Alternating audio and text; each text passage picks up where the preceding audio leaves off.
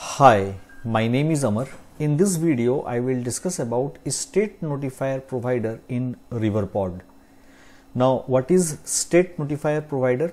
State notifier provider is a provider that is used to listen to and expose a state notifier. Second point is state notifier provider along with state notifier is Riverpod's recommended solution for managing the state which may change in reaction to a user interaction. It is used for centralizing the business logic in a single place and thus improves the maintainability of code. Now let me show you how to use state notifier provider in our project. Here you can see I have created this project and in the pubspec.yaml file I have taken this flutter riverpod dependency.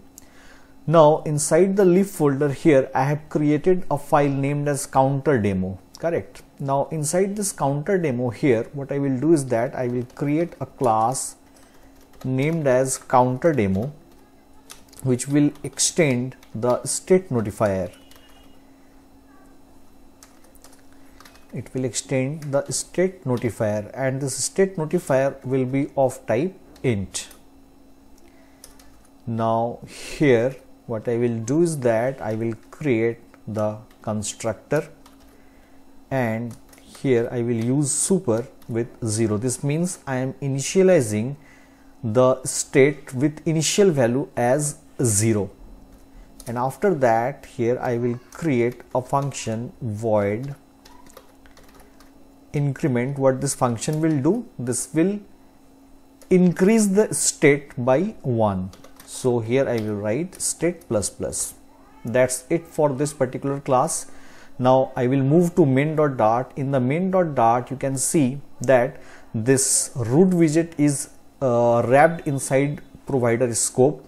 And if I can show you the output this is the simple output where we have a text widget and we have a floating action button my requirement is that whenever this floating action button will be clicked its value will increment by 1 and to achieve that first of all here I will create the provider. And to do that here I will write final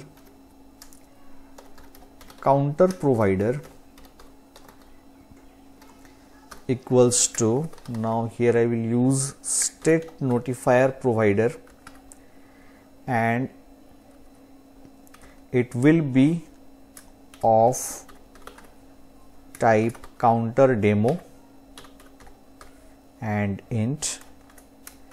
After that it will take ref. And here I will call counter demo.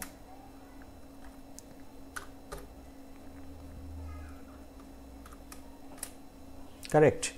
Now inside this build method here I will write final counter equals to I will use ref dot watch these things I have already discussed ref dot watch and after that I will watch which provider? The provider which we have created that is counter provider correct? And now inside the floating action button in the on pressed here I will call the increment function which I have created here this increment function will increase the state correct? And to do that here I will use ref dot read this also I have discussed. Ref dot read then counter provider dot notifier and here I will get the increment function. And in this text widget instead of 0 here I will use dollar of counter correct now let me save this now let me show you the output as you can see here this 0 is displayed which is the initial state now once I click on this floating action button its value is incrementing this is how we can use the state notifier provider in Riverpod. I hope you have liked my video. If you have liked my video, please subscribe to my channel. Thank you so much for watching.